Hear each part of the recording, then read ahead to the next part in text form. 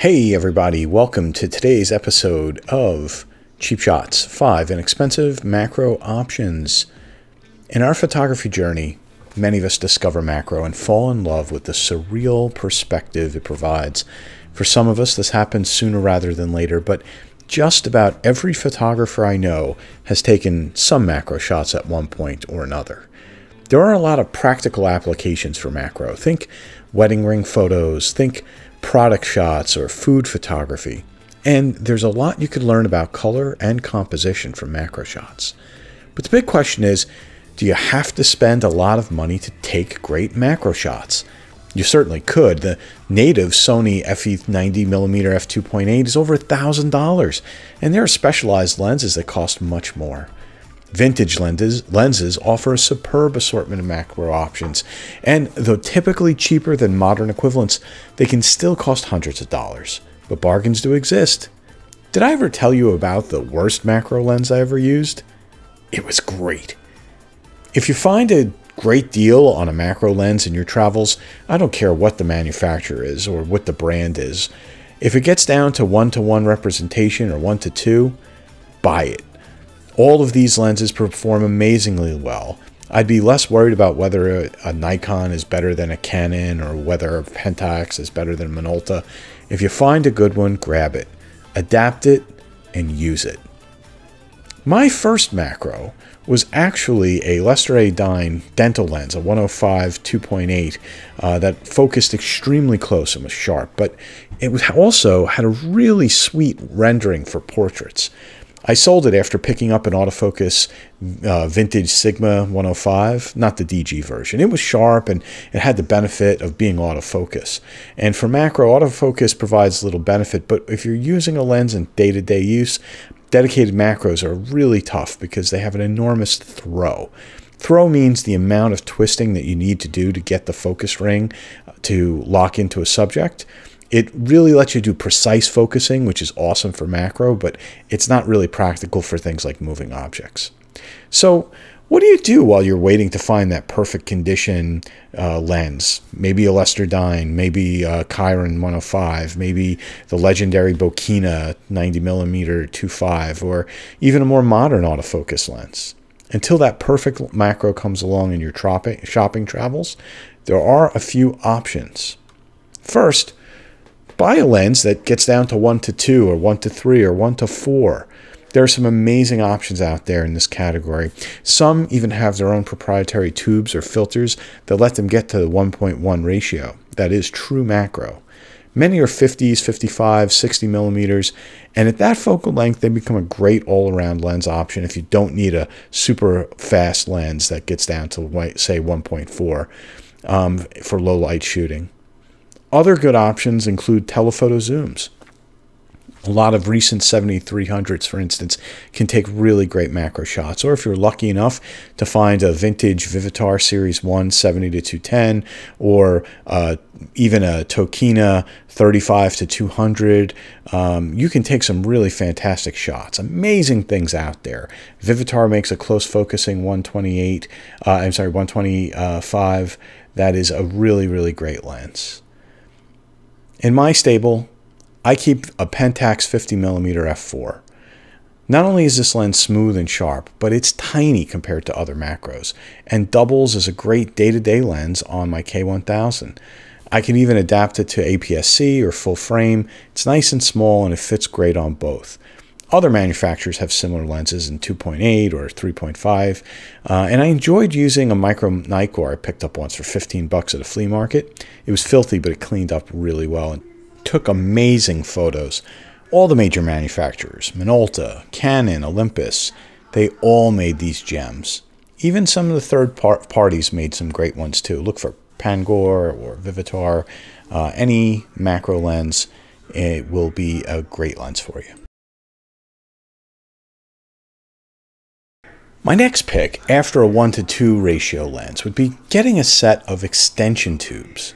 You could use these with whatever mount you use in your current lenses if you're shooting vintage, which is great for macro. Since they offer both a cheap solution and excellent manual focus, just get tubes that match your lens mount. Mount your lens to the tube, and then mount the tube to your adapter. It's that easy. The reason I like tubes is simple. You get you get to greatly reduce your close focusing capabilities.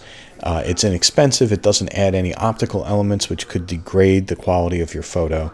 And personally, I own Nikon as well as uh, M42 because those are the predominant uh, types of lens mounts that I use in my lens collection. In fact, I even have a bellows in M42, which is pretty wild. Works just like extension tubes, except you twist the knob and it extends the bellows uh, more or less, and uh, it's really pretty cool. Close-up filters are a good option for some. You'll sometimes see them in sets with a leather pouch. On the side of the lens, you'll see a plus one, plus two, plus three, plus four. The greater the number, the closer you can focus. Will they degrade your image? Maybe a little. Will you be able to notice? Maybe not. It's a dedic- is a dedicated setup necessary for macro? Well, you could always try a cheaper solution like one of these. You may find that the difference in the optical quality isn't that big of a deal. Another really cool option that is really, really inexpensive is a reversing ring. For 10, 15 bucks, you could screw on a lens backwards and enter the world of really high quality macro. Remember, when going this route, the wider your lens, the more magnification. It's kind of the opposite of when you're not reversing it. So while 50 gives you pretty much a close to one to one ratio rep reproduction, a wide angle like a 35 or 28 can get you even closer. There are some downsides.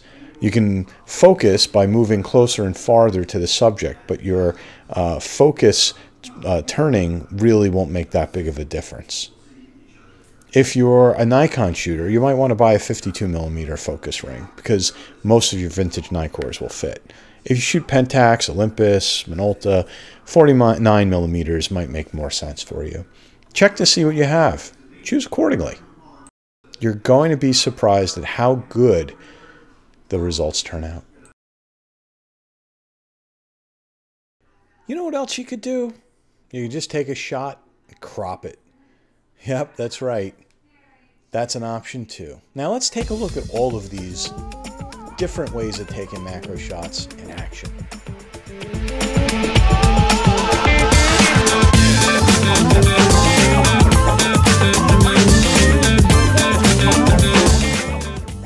Now let's jump into Lightroom for a little bit of pixel peeping. First up, let's take a look at the extension tubes on the left and the reverse ring on the right. In this case, I'm using the Meyer Optik Oreston 50mm f1.8 on the tubes. Love how that lens renders. Both of these options get you really, really sharp images. Both the extension tube on the left as well as on the right side, we have uh, the reverse ring. Again, it's hard to focus that reverse ring. You've got to really, really move in. You can't use your, your actual focus, but you can get some really great results.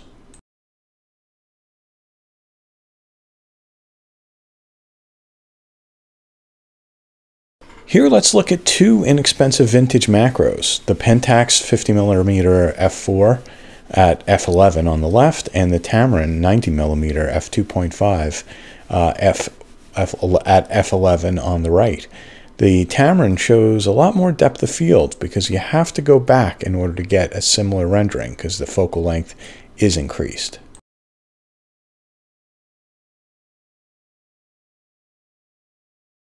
Now let's look at the dedicated macro on the left against another 50 millimeter that just has a plus 3 magnification filter on it. Surprisingly, you do get a different look and feel to the rendering altogether, but I don't see a ton of loss in terms of sharpness.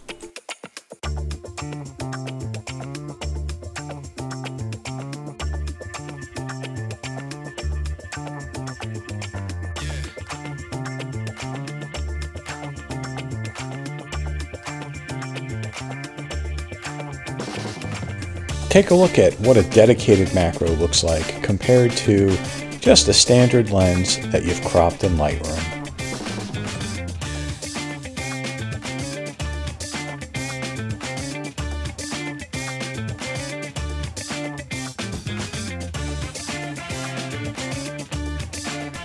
Now let's look at a lens cropped versus the same lens using the magnification filter. Interesting.